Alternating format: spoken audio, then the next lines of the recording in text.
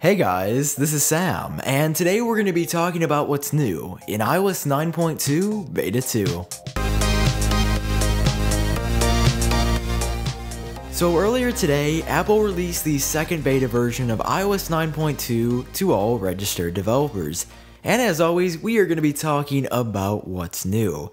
The first two changes in iOS 9.2 Beta 2 deal with once again the Safari in-app web view. That seems to be a major focus for Apple in iOS 9.2.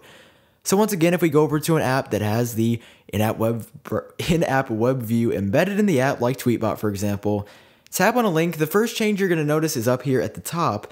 The Done button has been moved from the right side of the screen over to the left.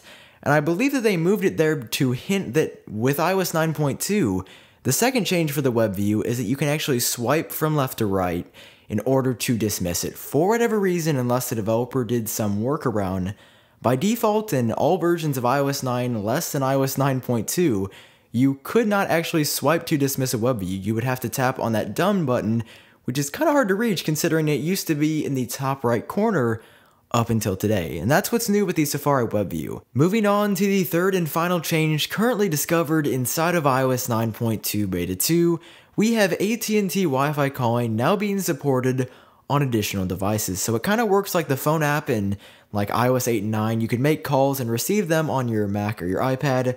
Well, AT&T Wi-Fi calling can now be used with things like a Mac or an iPad.